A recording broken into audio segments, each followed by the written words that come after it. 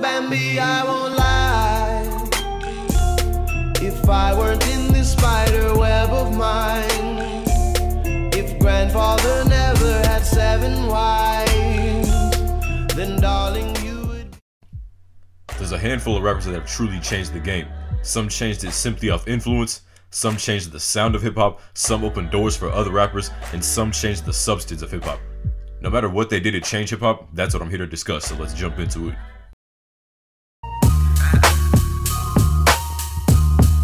Tupac didn't really change the game in terms of music, but he definitely had the most influence out of any rapper in history. As most of you know, he was a very outspoken person who would rap about and talk about injustices with black people and impoverished people, and he told super deep stories and he'd always practice what he preached. In his music, he was a thug that kept it real, and that's what he was as a person as well.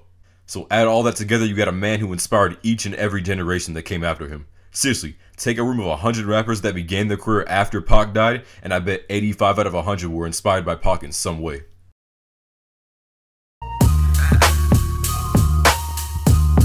I can honestly say hip hop would not be the way it is at all if it wasn't for Kanye. It seems like he shapes the game into whatever he wants it to be. Almost every time he dropped an album, he changed the way popular rap sounded. With the college dropout, he made it cool to be a non thug rapper and rap about your reality and just be yourself. Late registration capped that off. Graduation and 808s and Heartbreak added a new techno EDM sound into mainstream hip hop. And Watch the Throne caused other rappers to want to make collaborative albums like Drake and Future. That's not saying he created collab albums, but him and Jay Z definitely made it popular. On top of all of that, he's also a fashion icon and made it acceptable for rappers to get into the fashion industry. This man has definitely done a lot. Drake isn't the first rapper that happened to sing a lot in his music, but he sure is the most popular, and he made it cool for rappers to express their feelings and their real emotion, especially when it comes to girls. And he also opened a lot of doors to other rappers because of it. When you want chilled out rap, Drake is almost always the go to. He added an entire new vibe to hip hop, and if it weren't for him and his success, we might not see guys today like Uzi, Kyle, and Trippie Red.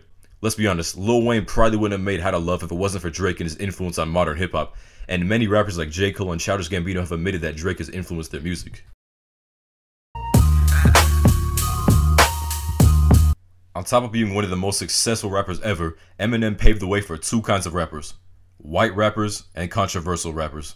There were white rappers before him as well as controversial rappers, but none found the mainstream success and fame that he got.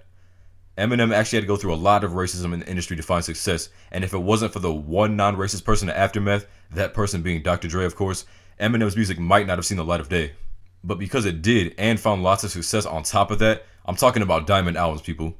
It opened the door for guys like G-Eazy and Lil Dicky. On top of Eminem being white, his lyrics weren't exactly what rap livers wanted to hear from the rappers. He would constantly rap about murder and rape, and there used to be a lot of homophobia in his lyrics. But despite all that, his music sold amazingly well, yet again opening doors for other controversial rappers like Tyler the Creator and XXX Tentacion, because he showed rap was something they don't know. Controversy sells. So Rakim was the first rapper to implement actual bars and lyricism in his music. Before him, the rhyme schemes were super simple. Brakes in a bus, brakes on the car, brakes to make you a superstar, brakes to win and brakes to lose. But these here brakes rock your shoes. I like to stand in a crowd and watch the people wonder, damn. But think about it, then you understand. I'm just an addict, addicted to music. Maybe it's a habit. I gotta use it. He changed all that and made it cool to have good punchlines and unpredictable rhymes. And I'm gonna be honest, there would have definitely been a rapper that came along and started doing this if Rakim never did, but that's not the case. So we gotta give Rakim the nod as the godfather of lyrical rap and inspiring rappers like Biggie, Eminem, and Nas. Because honestly, I wouldn't be here without them. So the list goes like this, and it's not in this order, but the list is this Run DMC, the Beastie Boys, LL Cool J, Cool G Rap, Master Ace, Rakim,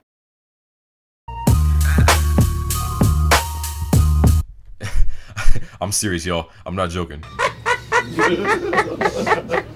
While Soldier Boy is known today as a trash rapper, he was the first YouTube rapper to make it big and get signed to a major label, and it opened the eyes to other music labels to look for talent on the internet, which not only opened doors for other YouTube rappers, but other artists in other genres as well. And while there probably was going to be another YouTube rapper that would have made it big if Soldier Boy never did, he was the first, making him a pioneer. Plus, he had some bangers back in the day, so don't even lie. So Melle Mel was a member of Grandmaster Flash and the Furious Five for all you young viewers out there, and he was the first rapper to add an important message to rap. The song The Message was the first rap song that talked about injustices. In this case, it was the poor conditions that most black people were living in in the 80s and how the crack epidemic had negatively affected the black community. Broken glass everywhere. People on the stage, you know they just don't care. I can't take the smell, can't take the noise. Got no money to move out, I guess I got no choice. Rats in the front room, roaches in the back, junkies in the alley with the baseball bat. The song was a hit and is still referenced in modern entertainment. Don't push me, cause I am close to the edge. Oh, I'm trying not to lose my head. Yes, I. Don't push me, cause I'm close to the edge. I'm trying not to lose my head. And since Melly Mel rapped the entire song, we can thank him for giving rap a conscience. Run DMC did a lot for the genre of rap. They were the first rappers nominated for a Grammy. They were the first rappers to go gold and platinum. They were the first rappers to appear on Rolling Stone. They had the first rap video on MTV. They did it all while being what they considered real hip hop. Before Run DMC, the only successful rap songs were basically R&B hits with a little more flow, and as they described, had too much music and wasn't b-boy enough. They put more lyrics in their songs and had boom bap beats infused with rock, which was something the mainstream hadn't heard before. They also usually shout rap their lyrics, which was something no one else had been doing. Their style made all previous rappers seem outdated, and hip hop hasn't looked back since. Check out a song made just one year before their first official song, Sucker MCs. It's like a jungle sometimes. It makes me wonder how I keep from going under. It's like a jungle sometimes. It makes me wonder how I keep from going under. Took a test to become an MC. And Orange Cliff became amazed at me. So Larry put me inside. He stacked a lack. The chauffeur drove off and we never came back. The difference is incredible. They also changed the style of rap. They changed the popular clothes from flashy disco era costumes to a subtler street style like jumpsuits, Kangol hats, and Adidas shoes. As a whole, they probably changed rap the most and pushed the culture forward farther than anybody else.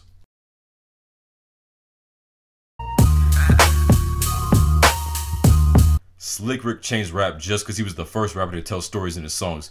He took hip hop from brag rap party music to actual creative and unique concepts. This man is the king of storytelling and made the template for many storytelling rap songs.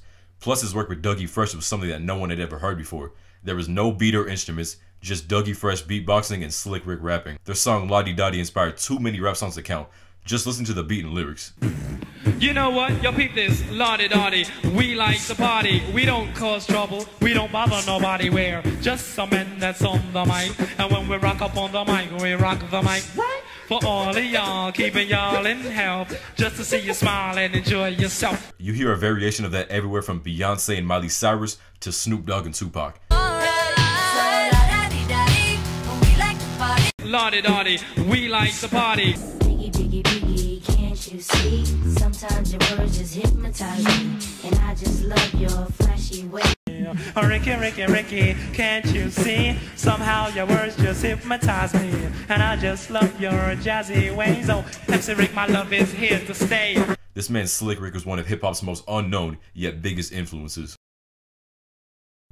Alright guys, thank you so much for watching the video if you made it this far. If you enjoyed, definitely hit that like button. Also subscribe if you like hip hop and rap because I make a lot of creative videos about rap and hip hop in general so you don't want to miss out.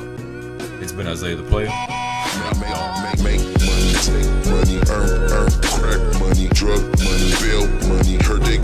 Life for me, how they got life for me when they took that from me. Since I had my nose, since I had my nose.